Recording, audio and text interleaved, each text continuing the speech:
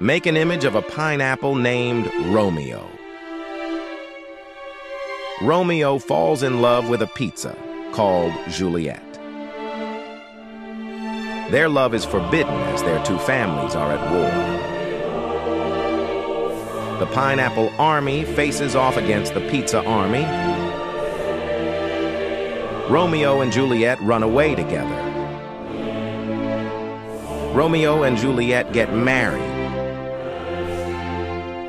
And this is the origin of the pineapple pizza